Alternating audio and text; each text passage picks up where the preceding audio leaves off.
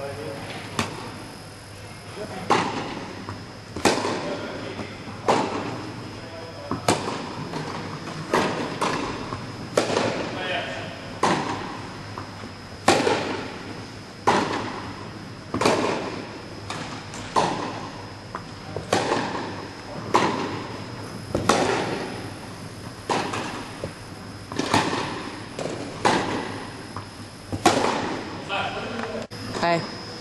Hi, it's my friend. He likes to drink a lot. Introduce yourself. My name is Vojislav Pecikoza, He's uh, where are you from? Serbia, Belgrade. The country of Djokovic. Yeah, Sarovic, Jelena Jankovic, Ivanovic. Good. He speaks good English. Yeah, I. Do you? I go to American school. So. Wow. Wow. American school, huh? Yeah, Good. How old are you? 18. Good, good. Let's uh, let's start playing some tennis